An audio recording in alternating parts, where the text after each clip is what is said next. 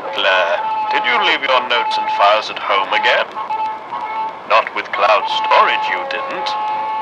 When you use cloud storage like OneDrive, your files can be accessed wherever you are. Innovate. Level up your teaching today.